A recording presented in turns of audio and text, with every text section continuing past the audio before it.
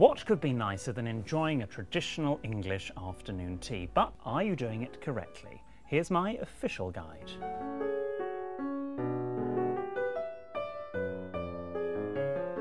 First things first, the napkin, never called the serviette. Take it and place it on your lap with the crease folded towards you. And next comes the actual drinking tea. Always loose leaf tea, please, so you'll need to use a tea strainer.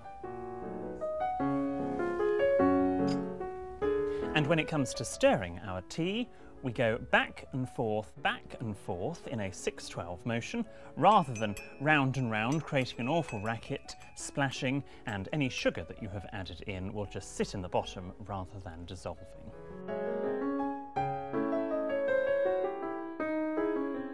After you've eaten the sandwiches with your fingers, not with a knife and fork, then you can move on to the scones. Pronounced scone, not scone.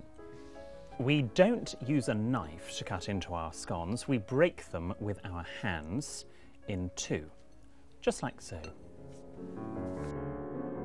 When it comes to layering your scone, you have two options. If you are using Cornish clotted cream, then the procedure is that you put the jam on first, the cream on last whereas the Devonians with Devonshire clotted cream like the cream to seep into the scone, and so they put it on first.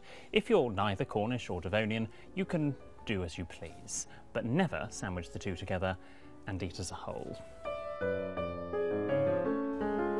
We use a small fork, or sometimes a pastry fork, to eat, but upturned in the right hand.